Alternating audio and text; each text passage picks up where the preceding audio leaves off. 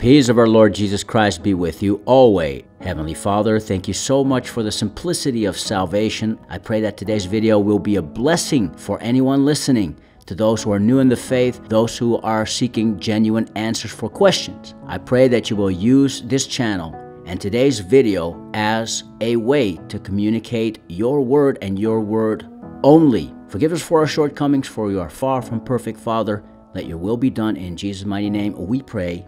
Amen. The Catholic Church has undoubtedly put his stamp of the quote unquote Christian world throughout the history. However, the Catholic Church has also added a lot of non biblical teachings onto Scripture, knowing that Scripture is a Bible believer's final authority. Psalm 138, verse 2, the Word of God says, I will worship toward thy holy temple and praise thy name for thy loving kindness and for thy truth, for thou hast magnified thy word above all thy name. The Word of God gives a promise that the Word of God is the final authority for every believer. Now, here's a clip from an interview between Jewish apologist Ben Shapiro asking Catholic Bishop Robert Barron about the Catholic way of salvation.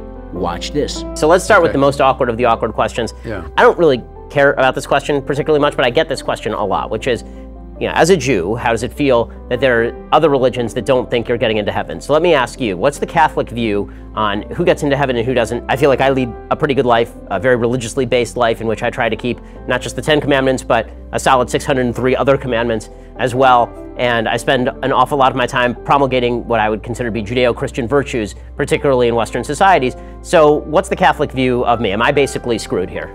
No, the Catholic view, go back to uh, the Second Vatican Council, says it very clearly. I mean, Christ is the privileged route to salvation. I mean, God so loved the world, he gave his only Son that we might find eternal life. So that's the, the privileged route. However, Vatican II clearly teaches that someone outside the explicit Christian faith can be saved. Robert Barron sounds great, very intelligent, using a bit of Bible. And that is why we always have to ask ourselves, for what saith the scripture? The word privileged route sounds great, but is absolutely non biblical. Jesus Christ plainly stated in John 14, verse 6 I am the way, the truth, and the life. No man cometh unto the Father but by me. So, whatever you want to say about salvation, there is only one way. His name is the Lord Jesus Christ. Now, they're saved through the grace of Christ, indirectly received. So, I mean, the grace is coming from Christ but it might be received according to your uh, conscience. So if you're following your conscience sincerely, or in your case, you're following the commandments of the law sincerely, yeah, you can be saved. Now, that doesn't conduce to a complete relativism. I, we still would say the privileged route and, and the, the route that God has, has offered to humanity is, is the route of His Son. But no, you can be saved. Uh, even Vatican II says that an atheist of goodwill can be saved. Because in following his conscience, if he does, John Henry Newman said the conscience is the aboriginal vicar of Christ in the soul. It's a very interesting characterization that it is, in fact, the voice of Christ. If he's the Logos made flesh, right? He's the divine mind or reason made flesh. That when I follow my conscience, I'm following him, whether I know it explicitly or not. So even the atheist, Vatican II teaches, of goodwill, can be saved. So is Catholicism act-based or faith-based? Because this has been sort of the traditional distinction between Judaism, for example, and Christianity, yeah. is Judaism is a very acts-based religion where it's all about what you do in this life and that earns you points in heaven. Uh, and then there's the faith-based religions that are more based on you believe in the truth, the way, and the life, and now you're in. Where, where does Catholicism actually stand, or is that division too stark? No, I, I would say it's love-based. Uh, God is love. God so loved the world, he sent his only son we're being drawn into the divine love. So there are two issues here. Jesus Christ is not God's only son. If so, the word of God contradicts himself. We read in John chapter 1 verse 12, but as many as received him, to them gave he power to become the sons of God, even to them that believe on his name. That means that every believer who repented, meaning was first an unbeliever and now is a believer, the Lord Jesus Christ gave him the power to become a son or daughter of God. Now, just because a saved man is a son of God doesn't make him Jesus Christ, of course. And that is point B, which Bishop Robert Barron left out. And God so loved the world, he gave his only Son that we might find eternal life. John 3, verse 16, the Word of God says, For God so loved the world that he gave his only begotten Son, that whosoever believeth in him should not perish, but have everlasting life. So the Lord Jesus Christ is the only begotten Son, speaking directly to Jesus Christ's divine nature. And the vast majority of modern Bible translations have cut out the begotten. This is one of the reasons why I urge you, brethren, especially those who are new in the faith, to get your hands on a King James Bible. And God so loved the world, he gave his only Son that we might find eternal life. No, sir. The word might indicates that one is not sure of the security that is eternal life, which is a teaching that goes against the Word of God. We read in 1 John chapter 5 verse 13, "These things have I written unto you that believe on the name of the Son of God, that ye may know that ye have eternal life, and that ye may believe on the name of the Son of God." Jesus Christ's death, burial, and resurrection is the price he paid on the cross to bear all the sins and it is for man to receive as a gift, as the gift of God. That is grace through faith. That is how salvation is obtained, not earned, because it is not of works, lest any man should boast. So God makes this great offer in Christ. Is it accepted in faith? Yeah. Aquinas says faith is the is the door of the spiritual life. Without faith, you can't get into the spiritual life. That means a trust in the divine love. Now, having made that great fundamental act, are you now called upon to be fully engaged, mind, will, passion, body, everything, in response to that love, a love awakening love in you? Yes. So we use the language of cooperation with grace, and that grace comes first, accepted in faith. Luther was right to that extent. If Luther had said gratia prima, we'd be fine. Grace first. See, that's, that's true at any time you're relating to God. If you're saying, well, I'm going to do it, I'm on my way to climb the holy mountain, well, then you're on the wrong path, just by definition. So, of course, it begins with grace. But then God, who's not competitive with us, he, he wants us fully alive.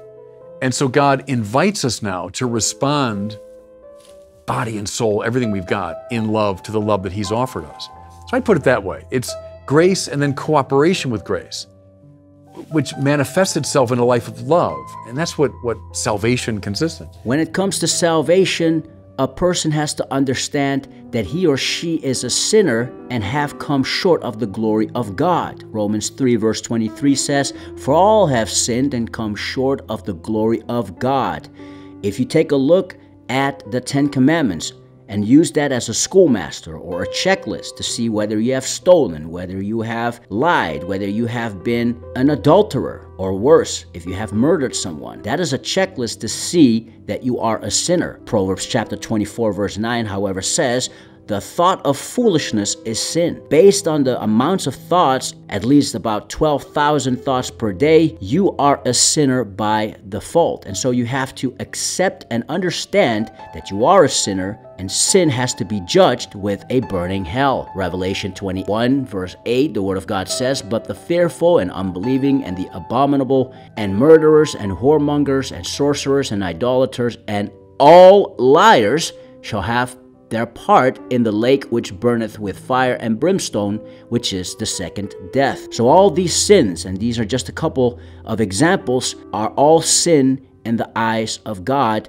which makes you a sinner. And a sinner has to be judged with a burning hell fire. However, fortunately for us, God provided a way for us to be saved from the penalty of sin. We read in Romans chapter 5 verse 8 and 9, "But God commanded his love toward us in that while we were yet sinners, Christ died for us. Much more then, being now justified by his blood, we shall be saved from wrath through him." And that is where the gospel of Christ comes into play, which is the power unto salvation to everyone that believeth, to the Jew first, and also to the Greek, aka non Jews or Gentiles. Believe in what? The gospel, the death, burial, and resurrection of the Lord Jesus Christ. For I delivered unto you, first of all, that which I also received, how that Christ died for us according to the Scriptures and that he was buried, and that he rose again the third day according to the scriptures. The Father sent His only begotten Son to pay the penalty of sin in hell, and the way that you obtain that is to repent by believing in the death, burial, and resurrection of the Lord Jesus Christ, testifying both to the Jews and also to the Greeks repentance toward God and faith toward our Lord Jesus Christ. So, unlike many preachers today who will have you believe that you have to repent from all your sins, which is a sentence that you will not find in your Bible, not even once. Repentance means a change of mind or to turn to God. Why? Because of your sinful condition, which leads you to hell as an unbeliever, you need to turn to God or have a change of mind to the Savior Jesus Christ who already has done all the work for you. And then you can say that to God as a way to solidify your faith in the heart if thou shalt confess with thy mouth the Lord Jesus and shalt believe in thine heart that God hath raised him from the dead, thou shalt be saved. For with the heart man believeth unto righteousness, and with the mouth confession is made unto salvation. It's grace and then cooperation with grace which manifests itself in a life of love. And that's what, what salvation consists in. And God so loved the world, he gave his only son that we might find eternal life. And so there is no might, wish, or hope. You can be absolutely certain of salvation, not because of how good you are, not because of what you have sacrificed. No, because of the sacrifice that the Lord Jesus Christ had made 2023 plus years ago for your sins. Let us pray. Heavenly Father, thank you so much for your perfectly preserved word in English and the simplicity of your gospel unto salvation. I pray that today's video was a video out of edification, shared out of love, for your glory, no one else's. Forgive us for our shortcomings, Lord, and I pray that anyone watching this video will be blessed with the simplicity of your gospel of what you have done on the cross, Lord Jesus Christ, your death, burial, and resurrection. May your will be done, Lord. In Jesus' mighty name we pray. Amen.